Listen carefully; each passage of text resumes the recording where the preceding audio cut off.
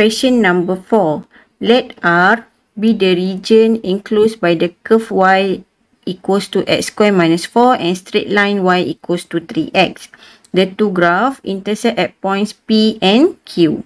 Okay, first question, we want to find P and Q. Means kita nak cari intersection point lah yang pertama. Okay, kita ada dua uh, function. Function yang pertama adalah y equals to x square minus 4. Dan function yang kedua adalah y equals to 3x. Kita nak find intersection point.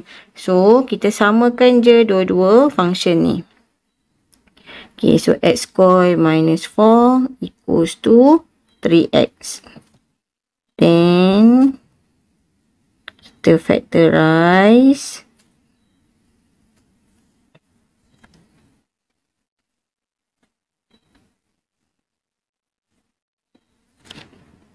Okay, then kita dapat answer x equals to negative 1, x equals to 4.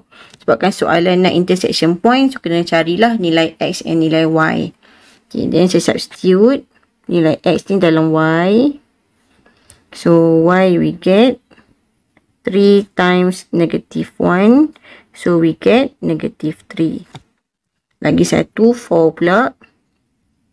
3 times 4. Then we get 12.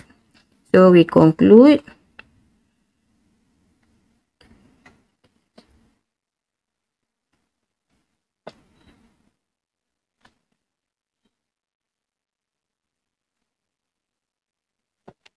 Uh, negative 1 and negative 3 lagi satu 4 and 12 okay, siap soalan yang pertama Okay, second question. Kita nak sketch the curve and straight line on the same axis and shade the region R. Okay, kita nak lukis sekarang ni. Function yang kita ada adalah function bentuk kuadratik yang positif. So, smile. Ini line yang positif. So, straight line lah. Linear. Ini kita nak sketch graph and shade the region R. Okay, kita ada function y equals to x square minus 4 bila dia bentuk smile dia ada minimum point. Macam mana nak tahu dia punya minimum point? Ambil terus daripada soalan tu. Okay, ini refer kepada nilai x. So, 0. Ini refer kepada nilai y. So, negative 4. Okay, dan kita lukis graf. Cari 0, negative 4. So, saya letak di sini. Terus tarik bentuk smile dekat 0, negatif 4. Okay, so siap graf yang pertama. Graf yang kedua adalah y equals to 3x. Ini graf linear, linear yang positif.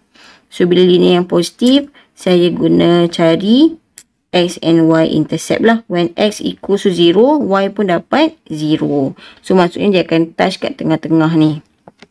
Okay. Dan kita tahu bentuk dia adalah positif. So, dia naik ke atas. So, saya tarik saja, naikkan ke atas. Okay, then kat sini lah dia punya region dia. Kita letak dia sebagai R. Okay, siap yang B.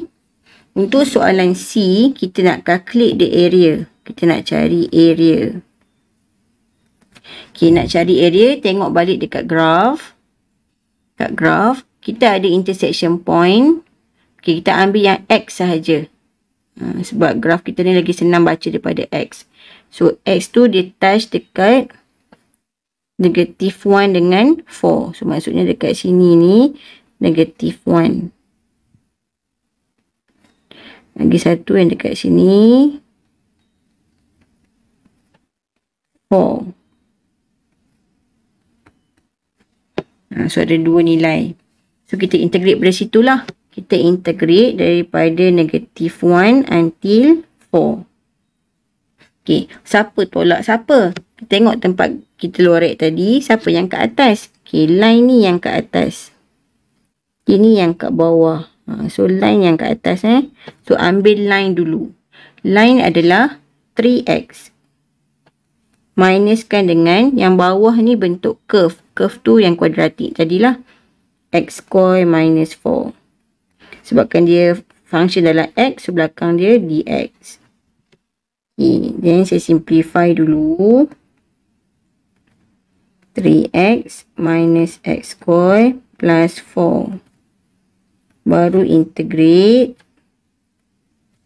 3x square over 2 minus x cube over 3 plus 4x from negative 1 until 4.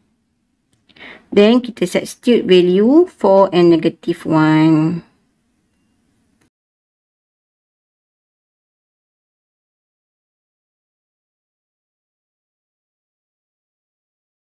Answer 125 over 6 unit square.